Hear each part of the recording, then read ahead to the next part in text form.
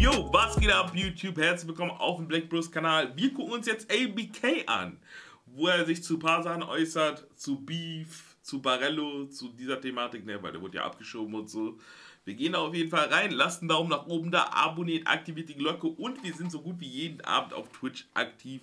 Kommt auf Twitch rüber, erster Link in der Beschreibung, Black Bros Gaming. Wir gehen rein in ABK. Wie komme ich da raus?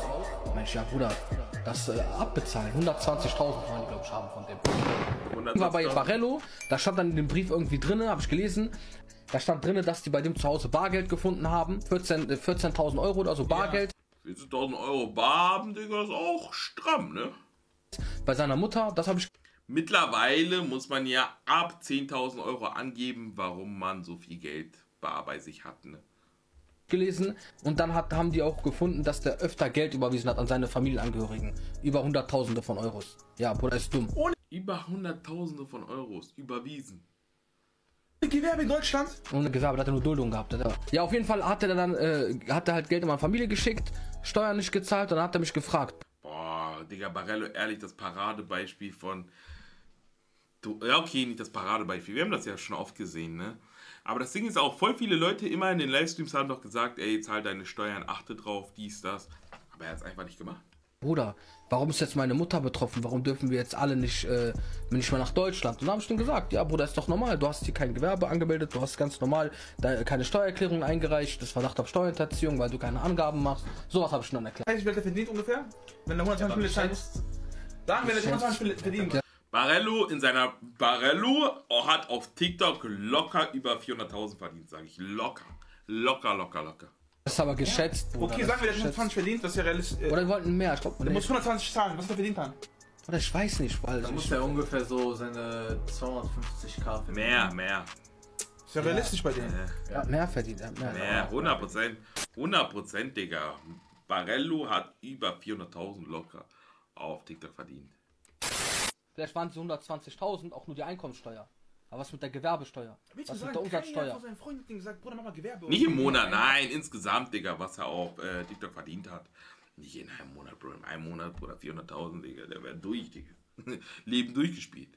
Einkommensteuer war nur 4.000 Euro bei ihm. Stand da. Geschätzt, ne? Ja, und ah. äh, ich glaube, Umsatzsteuer war irgendwie. Nee, äh, Umsatzsteuer hat er eh nicht, weil der TikTok macht. Da kriegt er Geld aus dem Ausland. Oder was war das? Das war Gewerbesteuer. Gewerbesteuer, Gewerbesteuer war das. Ja, ja. über 100.000. Das glaube ich. Heftig. Ja, der ist gefickt auf jeden Fall.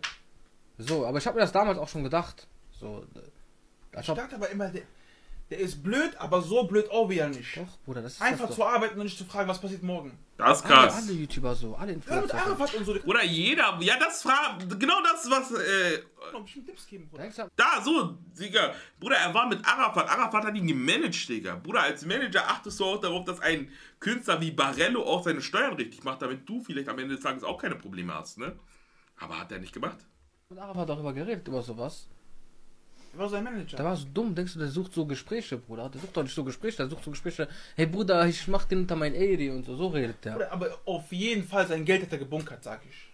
Bruder, der hat einfach in einer JVA-Zelle gestreamt. Hast du seine Couch gesehen? Bei Allah in den 90er ja. Jahren. Der hatte Schränke. Ich schwöre, wofür hat Barello sein Geld ausgegeben, ne? Also es sah wirklich nie so aus, als hätte Barello irgendwie Geld ausgegeben, ne? Er hat immer von Anfang bis zum Ende in dieser schäbigen Wohnung gestreamt, Bruder. Gehabt? Das waren diese Er hat ja nichts gehabt, Digga. Kein Auto, keine Uhr, nix, ne? Kasernenschränke von Soldaten. Hat 400 Euro Miete. Diese Metall und so. Ich glaube, er, der ja. hat. Der hat sich nichts gegönnt, Bruder. Ich glaube, er, der hat in Heimat oder so. Ja, äh, das meine ich, Bruder. Der hat sicher in Heimat, sein, ja, angelegt. Bruder. Wie ist das Verhältnis äh, mit Sammy? Ja, wir sind trotzdem irgendwo noch. Ähm, ja. Wir sind trotzdem noch Brüder, weißt du? Safe. Wir sind Brüder. Das ist eigentlich nur Heike, der immer wieder das Fitner dazwischen macht. Aber der Heike, ne? Aber sonst ist das Brüder, Wallah. Nein, also ich äh, mit, mit Sammy so. Ich habe mich nur allein gelassen. Ja, es kann auch auf jeden Fall sein, Digga. Ne? Bruder.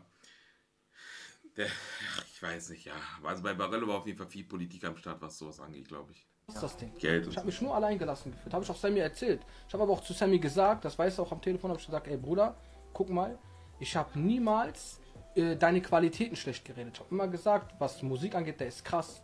Er hat ein krasses Musikverständnis. Äh, er ist lyrisch abgefuckt.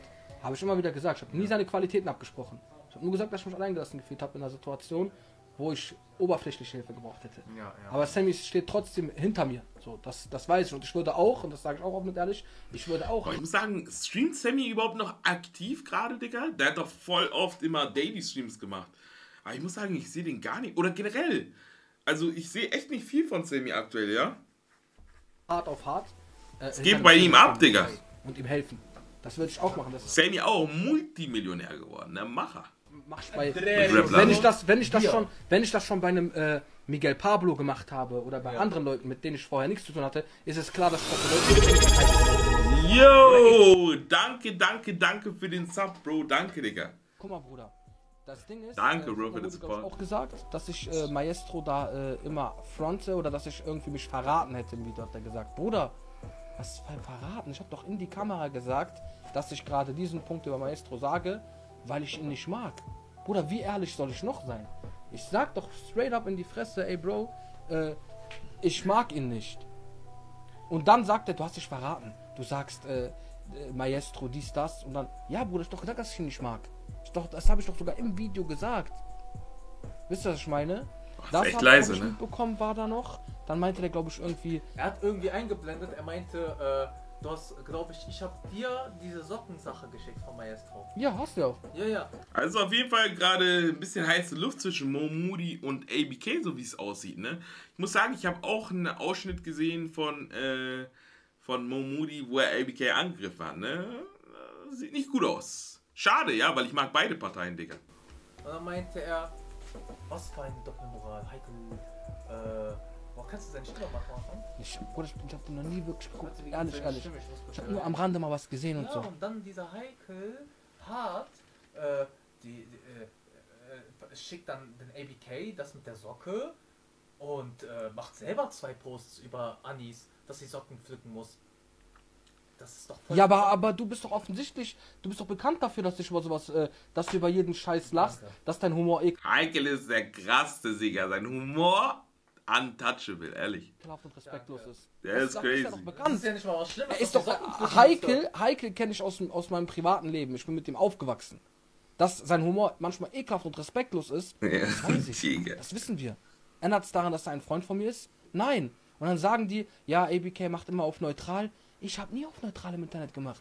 Ich habe immer auf YouTube gesagt, Loyalität. Ich war doch der, mit dem sich ganz YouTube Deutschland gestritten hat, weil ich für Loyalität bin. Wie die immer Worte verdrehen. Merkt ihr das? Wie immer meine Worte verdrehen. Es, crazy. Ja, ABK ist gar nicht so neutral. Äh, er macht so und so. Bruder, ich habe nie gesagt, dass ich neutral bin. Dann sagen die, ja, ABK macht immer auf neutral. Ich habe nie auf neutral im Internet gemacht. Ich habe immer auf YouTube gesagt, Loyalität. Ich war doch der, mit dem sich ganz YouTube Deutschland Ja, gestritten hat, weil ich für Loyalität bin. Wie die, klar, jetzt bei Mois habe ich nicht in Schutz genommen. Ich habe einfach Punkte genommen, die, äh, die ich von seiner Seite verstehen kann und Punkte natürlich genommen von der Gegenseite. Aber ich habe keine Punkte genommen, um die anderen auszugleichen, um dann zu rechtfertigen, dass der im Recht liegt oder so. Das habe ich nicht gemacht. Aber die Leute sind so irrelevant im Internet, die machen gar keine Aufrufe, keine Klicks, kein gar nichts, dann müssen die über ABK reden. Walla Bille, wenn ApoRed sagt Main Character Gelaber und so, ich kann den verstehen. Die Leute Tschüss. sind so irrelevant, wenn Momodi jetzt einen Vlog hochlädt, wo er spazieren geht, ich schwöre, es wird keiner gucken.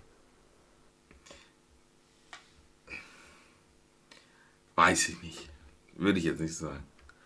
Das finde ich halt immer ist so traurig bei diesen Leuten. Die sind Ja. abhängig von den Fehlern der anderen. Ich rede auch über die Fehler von anderen YouTubern und ich mache auch so, sagen wir, Motto-Meinungsblogs. Ich gehe da rein, Rezo sehe ich, kommt das auf mich zu, umarmt er mich. Also ich bin auf ihn Halt's zugegangen, voilà, ich bin auf ihn zugegangen mit Leon. Doch Rezo, Digga. ABK und Rezo vor GTA 6 ist crazy. Leon hat er was gefragt über Aliens. Dann kommt zu Rezo, umarmt er mich so. Hey, was geht? Doch Rezo. Ja, Motto jetzt zum Armen, ne? Kann er mich anspucken, Alter. Wenn nicht, umarmt er mich. Danach habe ich Knossi gesehen. Gibt er mir so Hand. Ich guck den nur so an, während Leon mit denen redet. Die ganze Zeit so, ich dachte mir so, ekelhafter Mensch, Casino, Alkohol auf den Markt gebracht. Digga, ABK ist der krasseste, muss man sagen, ja. Er ist so anders. Oh.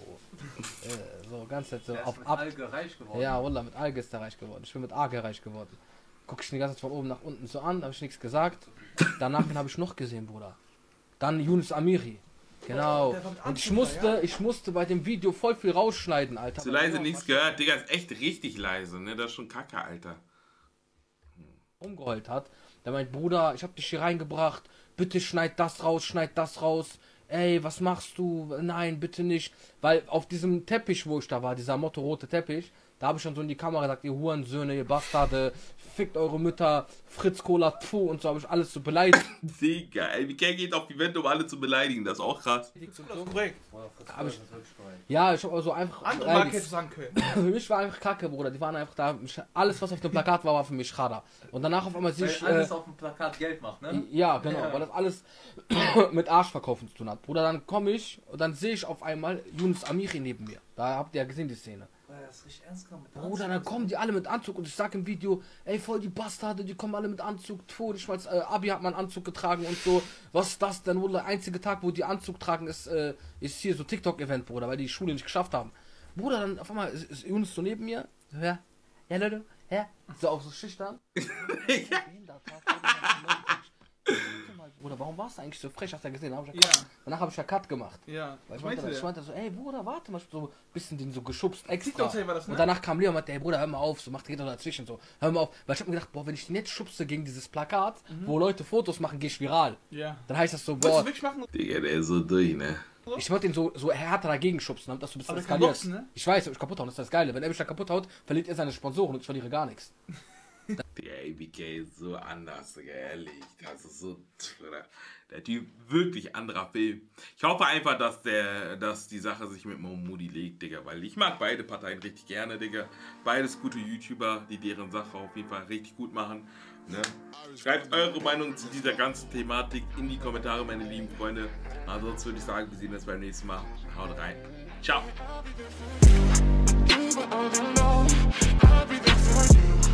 Cause I know